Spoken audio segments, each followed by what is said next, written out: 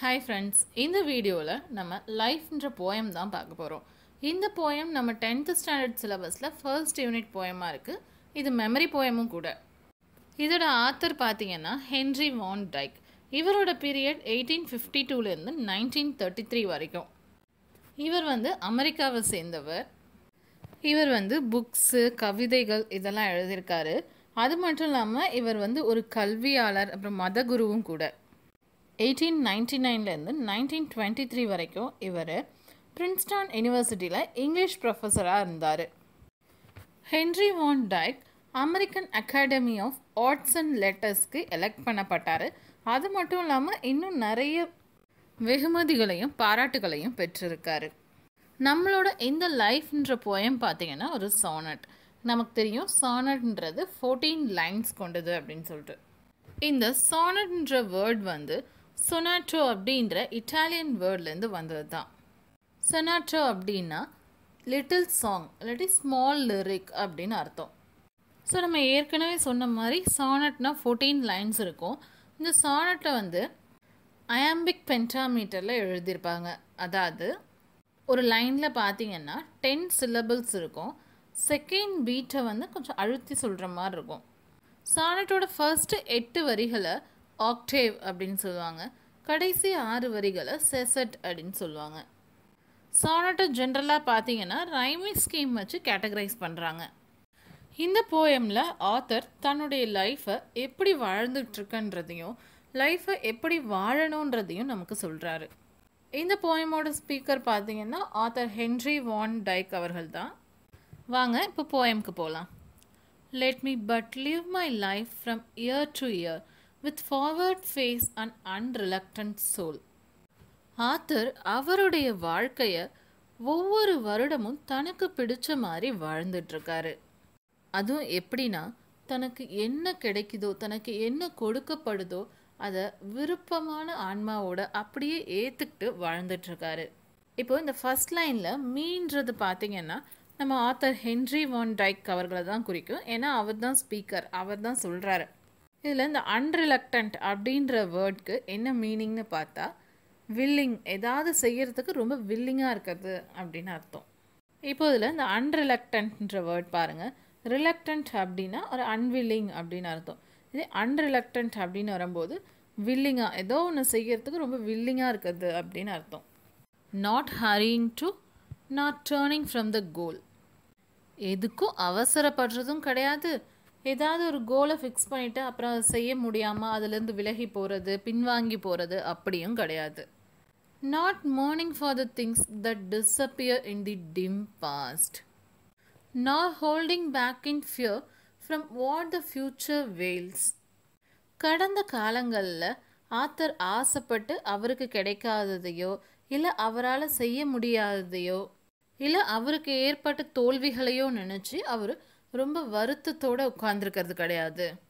இதில் இந்த dim past அப்படின்றதுல இந்த டிம் பாஸ்ட் அப்படின்ற ஃப்ரேஸ்க்கு என்ன மீனிங் அப்படின்னா எப்போதுமே நம்ம பாஸ்டில் அதாவது நம்ம கடந்த காலத்தில் பார்த்தோம் அப்படின்னா நம்ம ஆசைப்பட்டுக்கு ஏதாவது கிடைக்காம போயிருக்கோம். இல்லை நம்ம நினச்சது ஏதாவது நடக்காமல் போயிருக்கோம். இல்லை நமக்கு ஏதாவது தோல்விகள் ஏற்பட்டிருக்கும் ஏதாவது வருத்தங்கள் ஏற்பட்டிருக்கும். இதுதான் டிம் பாஸ்ட்னு சொல்கிறாங்க அதை நினச்சி நம்ம வருத்தப்பட்டுக்கிட்டே இருக்கக்கூடாது. எப்படி நம்ம ஆத்தர் கடந்த காலத்தில் நடந்ததை நினச்சி வருத்தப்படுறது கிடையாதோ? அதே மாதிரி எதிர்காலத்தில் இப்படி ஆயிடுமோ அப்படி ஆயிடுமோ இது நடந்துருமோ அப்படின்னு சொல்லி பயப்படுறதும் கிடையாது. But with a whole and happy heart that pays its toll to youth and age and travels on with cheer ஆனால் சந்தோஷமாக முழுமையான மனசோட சின்ன வயசுனாலும் சரி வயசானதுக்கு அப்புறமும் சரி தன்னுடைய வேலைகளை கரெக்டாக செஞ்சு வாழ்க்கை பயணத்தை சந்தோஷமாக ஓட்டணும். அதாவது எப்போவுமே பாசிட்டிவ் தாட்ஸோட ஆப்டமிஸ்டிக்காக இருக்கணும் அப்படின்னு ஆத்தர் சொல்கிறாரு ஸோ இப்போ இந்த ஃபர்ஸ்ட் ஆன்சரில் என்ன சொல்லியிருக்காங்க? ஆத்தர் வந்து அவருடைய லைஃப்பை வருஷா வருஷம் தனக்கு பிடிச்ச மாதிரி வாழ்ந்துட்டுருக்காரு. அதுவும் எப்படின்னா என்ன நடந்தாலும் அதை அப்படியே ஏற்றுக்கிற ஒரு இன்முகத்தோடையும் ஒரு வில்லிங்கான சோல் கொண்டு அப்படியே வாழ்ந்துட்டுருக்காரு. எதுக்கும் அவசரப்படுறது கிடையாது. இல்லை ஏதாவது ஒரு கோலை ஃபிக்ஸ் பண்ணிவிட்டு அதுலேருந்து விலகி போகிறதோ பின்வாங்கிறதோ கிடையாது. அதே மாதிரி கடந்த காலத்தில் நடந்ததை நினச்சி வருத்தப்படுறதும் கிடையாது. எதிர்காலத்தில் நடக்க போகிறத நினச்சி பயப்படுறதும் கிடையாது. சந்தோஷமாக முழுமையான மனசோட சின்ன வயசுலேருந்து வயசானப்புறமும் சரி வாழ்க்கை பயணத்தை சந்தோஷமாக ஓட்டிகிட்டு So so the the wind up the the hill or down or or smooth, smooth the journey will be joy so அவர் செல்லக்கூடிய அந்த வாழ்க்கை பயணமானது மலையை நோக்கி போய் முடிஞ்சாலும் சரி இல்லை ரொம்ப கீழ் நோக்கி போனாலும் சரி அந்த பாதை கரடு முரடாக ரொம்ப ரஃப்பாக இருந்தாலும் சரி இல்லை ஸ்மூத்தாக இருந்தாலும் சரி அந்த ஜேர்னியானது அதாவது அந்த பயணமானது மகிழ்ச்சியாக தான் இருக்கும்.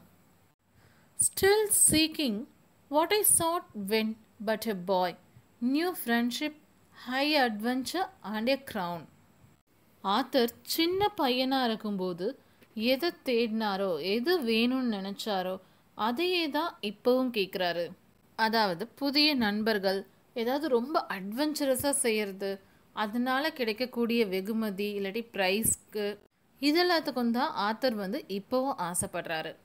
My heart will keep the courage of the quest and hope the road's last turn will be the best ரொம்ப கஷ்டமான ஒன்றை தேடி அலையிறதுக்கான தைரியம் நம்ம ஆத்தரோட மனசில் எப்போதும் இருக்கும். நம்ம ஆத்தர் அவர் பயணிக்கிற இந்த பாதையுடைய கடைசி வளைவு கண்டிப்பாக பெஸ்ட்டாக இருக்கும் அப்படின்ற நம்பிக்கையோடு பயணிக்கிறாரு. அதாவது அவருடைய வாழ்க்கையில் கடைசியில் எல்லாம் சிறப்பாக இருக்கும் நல்லதாக நடக்கும் அப்படின்ற எண்ணத்தோட போவேன் அப்படிங்கிறாரு. ஸோ இப்போ இந்த ஸ்டாண்ட்ஸால் என்ன சொல்லியிருக்காங்க அப்படின்னு பார்த்தீங்கன்னா நம்ம வாழ்க்கை பயணத்தில் அந்த வழியானது மலையை நோக்கி போனாலும் சரி இல்லை ரொம்ப கீழே போனாலும் சரி அந்த பாதை ரஃப்பாக இருந்தாலும் சரி ஸ்மூத்தாக இருந்தாலும் சரி பயணம் வந்து கண்டிப்பாக சந்தோஷமானதாக இருக்கும். ஆத்தர் சின்ன வயசில் எதுக்கெலாம் ஆசைப்பட்டாரோ என்ன வேண்டும்னு நினச்சாரோ அதே தான் இப்பையும் தேடுறாரு. அதாவது அதே தான் இப்போவும் வேணும்னு நினைக்கிறாரு.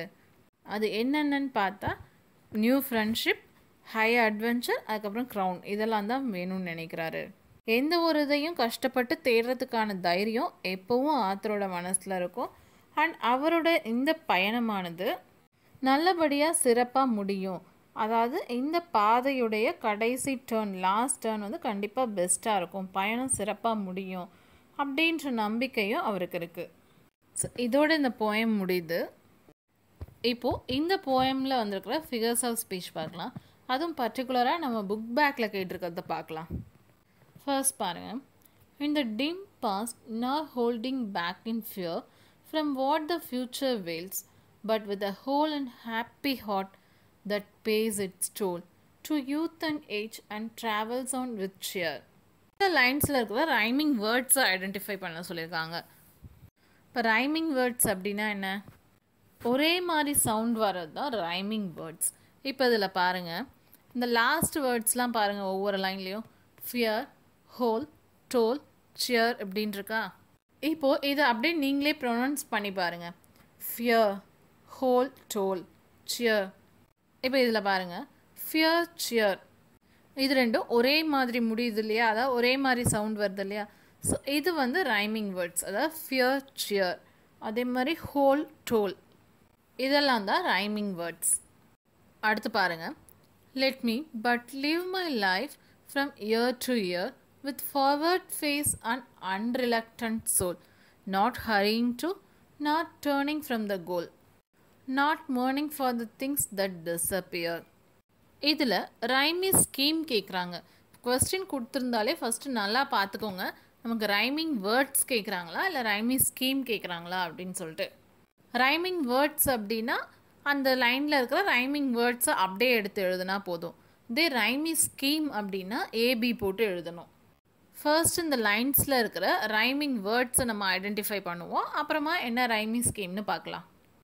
இதுலேயும் பாருங்கள் ஒவ்வொரு லைன்லேயும் லாஸ்ட்டாக இருக்கிற வேர்டை நீங்கள் ப்ரொனவுன்ஸ் பண்ணி பாருங்கள் year soul goal disappear so இப்போ என்ன rhyming words year disappear soul goal இதான் ரைமிங் வேர்ட்ஸ் இல்லையா? ஸோ இப்போ ஃபர்ஸ்ட் லைனில் என்ன இருக்குது இயர் இருக்குது இயருக்கு நம்ம எப்பவுமே ஏலேருந்து ஸ்டார்ட் பண்ணுவோம். ஏ போட்டுக்கலாம். செகண்ட் லைனில் லாஸ்ட்டில் என்ன இருக்குது சோல் பாருங்கள் இயர் சோல் டிஃப்ரெண்ட்டாக இருக்கா? அதனால் சோலுக்கு பி போட்டுக்கலாம். அடுத்து தேர்ட் லைன் பாருங்கள் என்ன இருக்குது கோல் கோல் எந்த மாதிரி ப்ரொனன்சேஷனில் இருக்குது சோல் கோல் ரெண்டும் ஒரே மாதிரி இருக்கு இல்லையா?